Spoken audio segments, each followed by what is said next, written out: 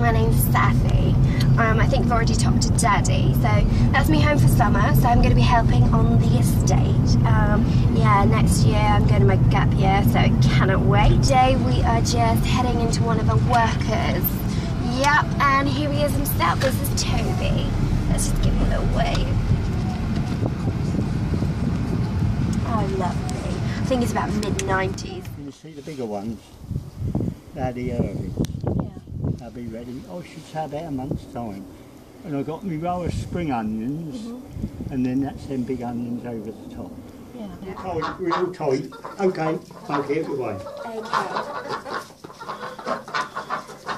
So we've got Mildred the chicken here, and yeah, if you want to have a little look about, this is some of the, the ducks and everything, and we've got Toby just.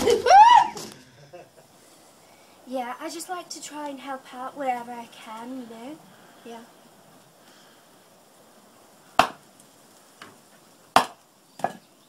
Toby, do you want to come help now? Yeah. Yeah, that's cut. Daddy, no! No, I'm sorry, he has to go. No, he made me look like a complete idiot today.